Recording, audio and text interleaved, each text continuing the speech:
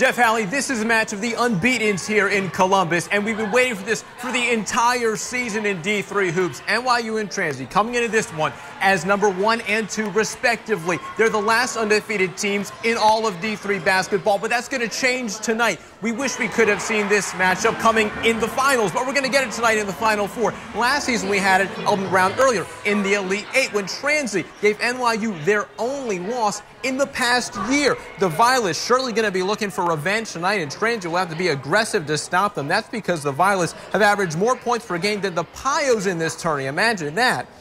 They, they're averaging about 78, Transy averaging about 63.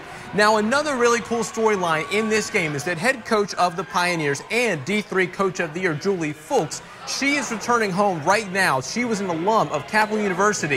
In 1997, she was with the Comets as they made their way to the NCAA Division III Final Four. We'll have to see how that goes for her back on home turf here.